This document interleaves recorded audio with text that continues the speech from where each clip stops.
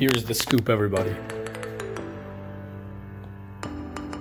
I've been doing these random challenges to see how much money I can raise by making a ridiculous amount of art or jewelry in one day.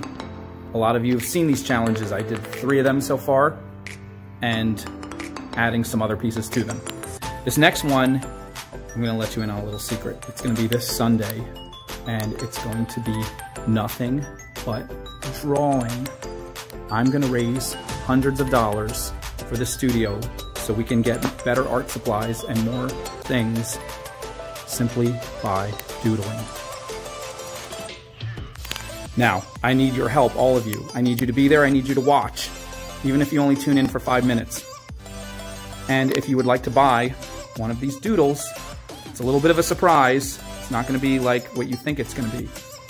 So come and find out what it's gonna be, and I think you're gonna like it they're going to be much lower priced than the last two challenges. So, but you don't have to buy anything. Just come and watch. Just watching will make me so happy. Make us, because there's going to be more than just me. And we're going to be doodling. Doodling.